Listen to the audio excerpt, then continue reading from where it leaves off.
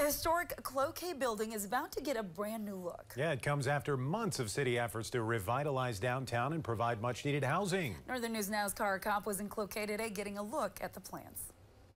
Its legacy dates back to 1919, but the old Solem Hotel has grown into quite the eyesore. And on the inside, it's even worse. Asbestos, mold, materials. That's what led the city of Cloquet to condemn the historic building in 2022. However, this month, City Council passed a series of resolutions to revitalize it to help fill a need.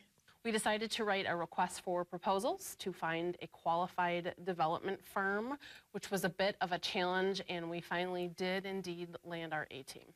AMI Consulting Engineers shared a vision with Cloquet city leaders of gutting the building down to the studs and rebuilding it into market rate housing. They plan to create 18 apartments six on each floor, um, and add an elevator and air conditioning in the units and in uh, unit laundry. The project will be expensive, nearly $4 million. However, there's a financial plan in place. The city of Cloquet issued uh, 534,000 in tax increment financing in a redevelopment district.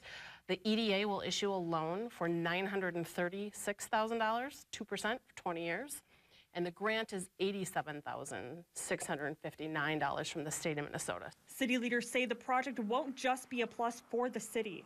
Really a plus for the community to, to have the building there and also to provide the much needed housing as they're very short on apartments in Cloquet. And we hope it will really revitalize our downtown.